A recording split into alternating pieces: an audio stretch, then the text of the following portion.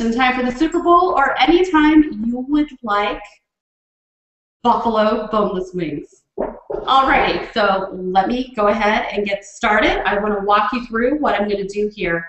We are going to make some fabulous buffalo sauce, and I really like Frank's Red Hot sauce. This is my absolute go-to hot sauce. I know a lot of people really like Tabasco sauce, um, but all that's in the sauce is Frank's Red Hot sauce and butter. It's very, very easy. So I'm actually going to go ahead and get a pot, and I'm just going to put this on simmer, and we're going to forget about this while we go ahead and do our wings. I'm going to drop this in, put it on simmer, and we will be done with that.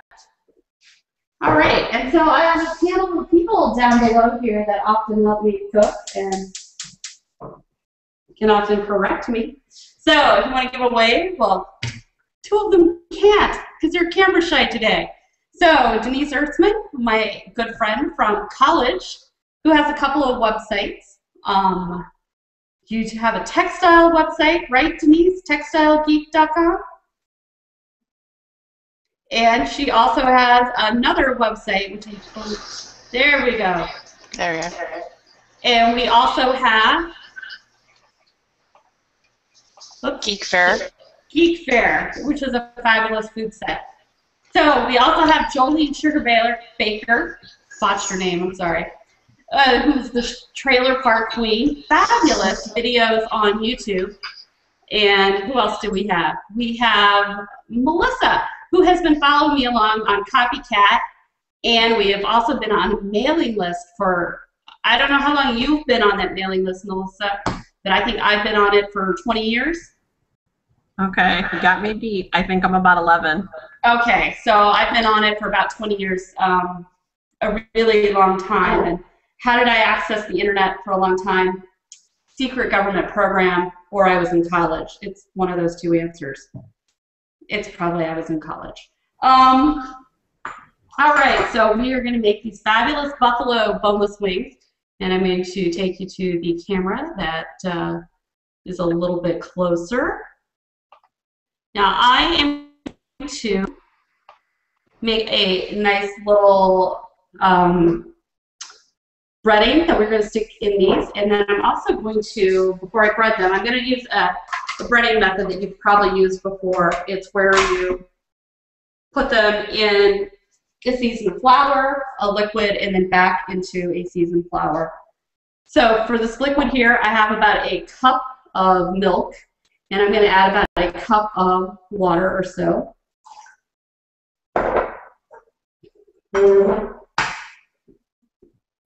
This helps make a really nice breading on just about anything. This works well for onion rings. It works well for many, many things. So let me grab a fork because apparently I am unprepared this morning.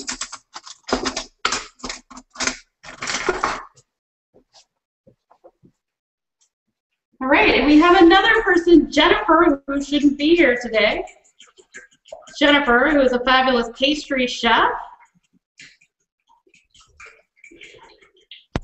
Hello. Hello, aren't you supposed to be going to the beach? Tomorrow. Tomorrow. I just thought I'd stop in real fast. Okay, well, welcome. Thanks. All right. So we are going to make our seasoned flour for our boneless buffalo wings.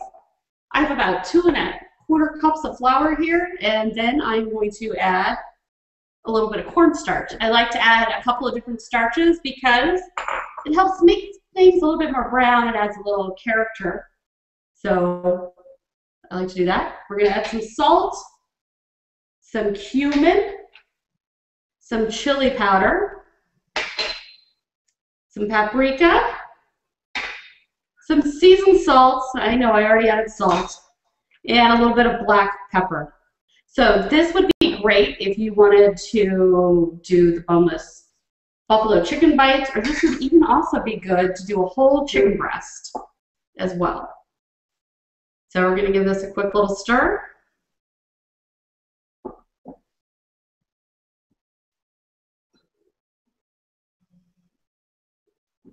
All right. So I have my oil heating. I um, I'm using a GranPappy fryer. Can I move it over without unplugging? Right here. These things are fantastic to fry in because um, they bring everything up to a nice temperature. And apparently you can also wash the electric cord and it still works. So I highly recommend the brand on that alone.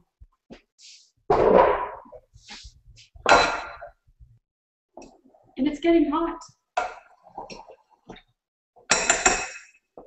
So is anybody making stuff? Denise, you're not watching the Super Bowl. Jennifer's not watching the Super Bowl. Anybody else making anything or having a Super Bowl celebration? I'm cooking through the weekend, of course, but not anything Super Bowl focused, I guess. I think tomorrow I'm going to make a beef brisket. Oh, that sounds good. Are you going to make it in the oven? I am. You are, because it's what, 12 degrees at your place right now? Um, yes. I think it's 21 today, I'll have you know. okay, okay, 10, 10 degrees more. So you can almost wear shorts, right? Oh, right, yeah, that's funny. Well, I thought in Michigan when I lived up there that people would wear shorts at about 40 degrees. No, we don't. Well, they didn't Eau Claire. We're on All right. So my grease should be getting hot. I have my buffalo sauce. You can see I just have it on simmer. I'm going to show you. Like that. I might turn that up just a little bit more.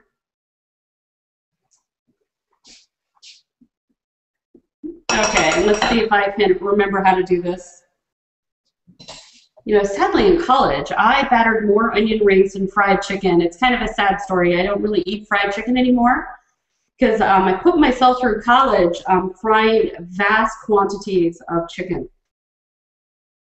I, I, worked at this crazy little store in this very small town that, um, yeah, that we, uh, I probably fried, I don't know, 50 to 100 pounds of chicken each and every day. So I don't really eat fried chicken anymore because I just can't handle it. You, you OD'd on fried chicken? I mostly OD'd on cleaning chicken and then frying it. Yeah. Okay. So I'm going to pop these into my fryer here, and we're going to cook these, I don't know, for about five or six minutes until they float. That's how you often know things are done in a fryer. So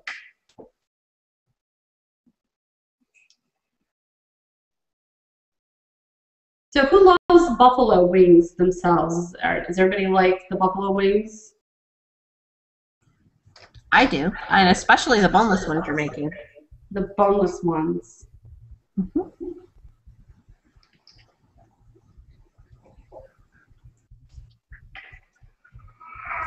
And I don't know if you can hear my cats. Apparently, they are giving me cooking tips right now. I'm not certain what they involve, but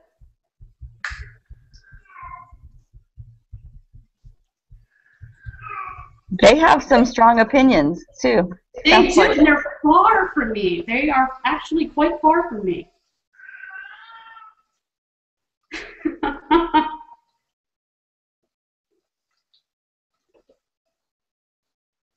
so I think everybody here has cats. Isn't that interesting?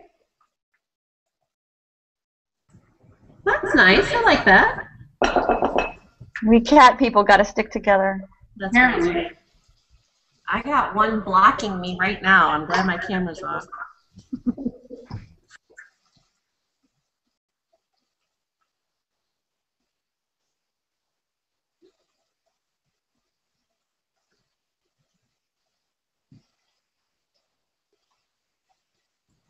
So when you're doing your breading process, you're actually breading with flour, then going to your liquid, then back to your flour?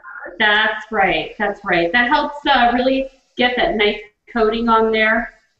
Okay. I really like like buffalo wings like Hooters because they have that nice breading on there. You know, whenever you add flour and grease to something, you've automatically made it taste better, right? Yes, absolutely. I do like Hooters better as well. I like that tail.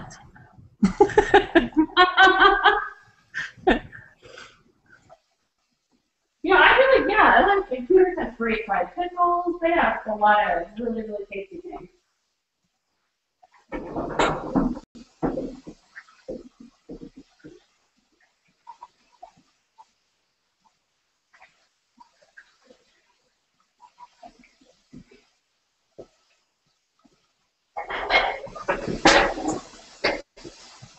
Now we'll come back.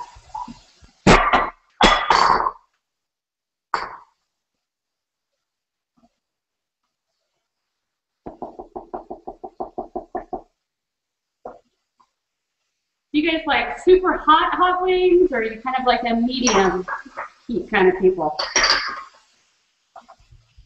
If they're going to be super hot, I want to make sure there's plenty of blue cheese dressing to cut it.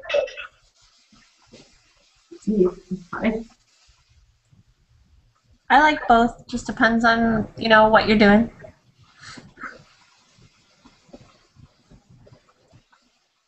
I'm not a fan of like the atomic hot ones, the atomic blazing hot ones, because you know those, I think those are just too much. Understand. I've seen some pretty crazy shows on either the Food Network, I think, where people eat wings that are ridiculously hot. I'm not sure. Oh yeah, well it's like habanero or those scotch bonnets or something. It's like Right. ooh. Ghost chilies.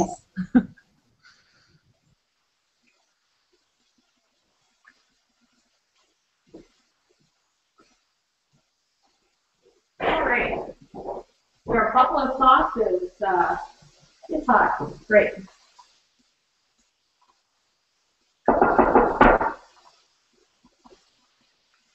Use the take just a couple more minutes. Uh, nobody likes underdone chicken. Rare chicken is uh, it's not popular with anyone.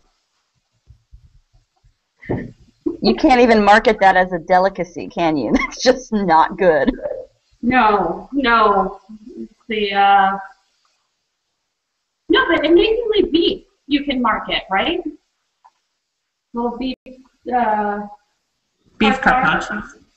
beef carpaccio, yeah. And they charge more, and they don't even cook it, right? That's right. Steak tartare.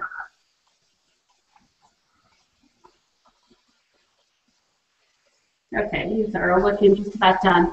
This is a really nice seasoned um, batter here with everything in there. We've got cayenne pepper, we have cumin, um, a little bit of everything actually.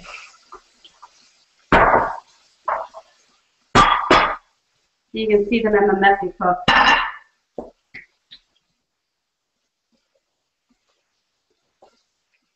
So this is why I like to do the uh, dry, wet, dry method in battering. Because you can see you get a really nice crispy, almost like a shaggy texture there. So um, I love to do it this way. All right, so I'm going to go ahead and put the other chicken in, and then we'll talk about what we need to do with these. Now, also, ideally, um, whenever I've battered stuff in the past, um, I really like to fry my fingers, and um, I really like to let this sit and dry for a little bit and get that crust on a little bit thicker. So, all right, gonna put these in here.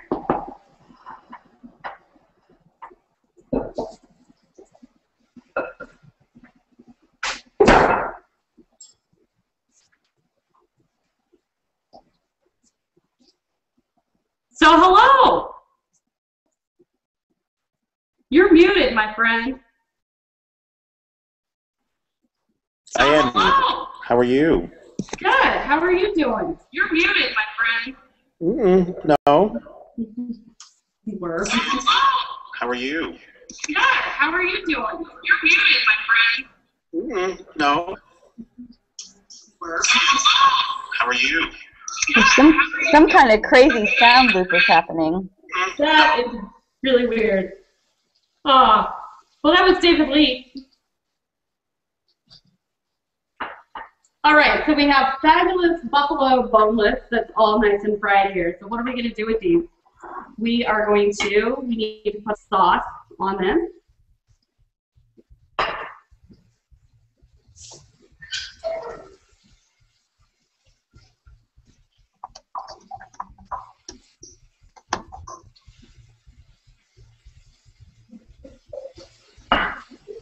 Right, so we can kind of stir these around.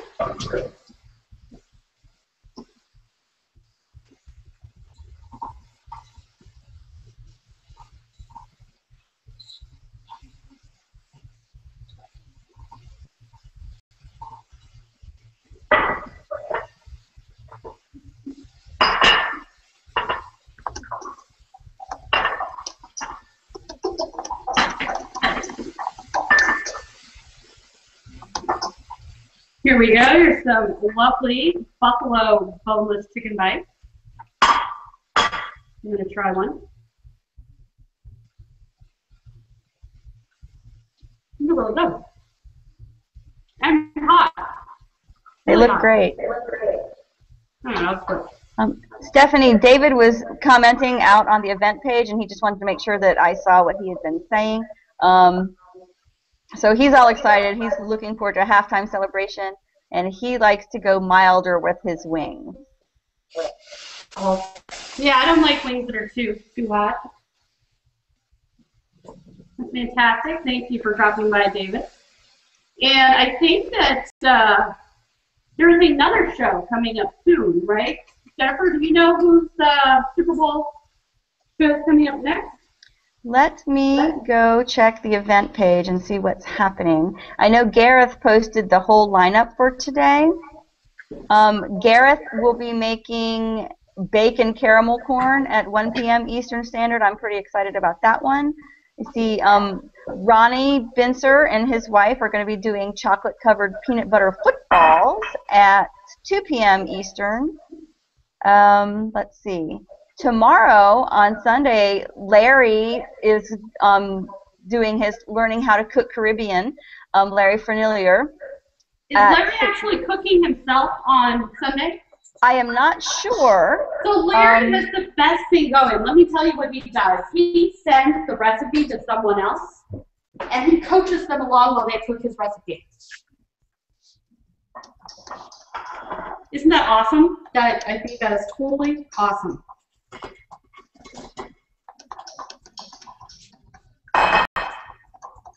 Alrighty, so I'm just gonna finish up these buffalo bites right here.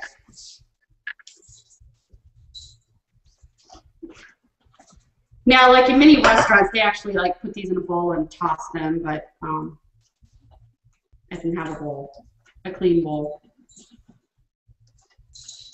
But here you go, some more buffalo chicken bites. Yum.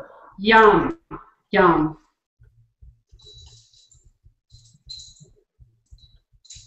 Alrighty, so you should serve these up with ranch, blue cheese dressing.